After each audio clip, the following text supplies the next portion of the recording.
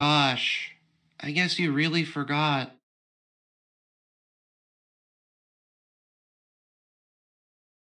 Oh, Wooly, it's your birthday!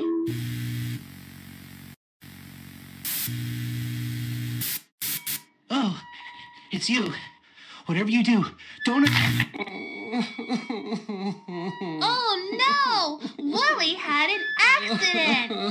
An accident is mm. when something bad happens, but it's not anybody's fault. Accidents can happen in your house, at school, at the playground. You can get hurt almost everywhere.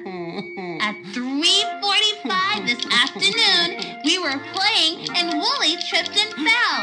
I, I didn't try. Where on Wooly does it look like he got hurt?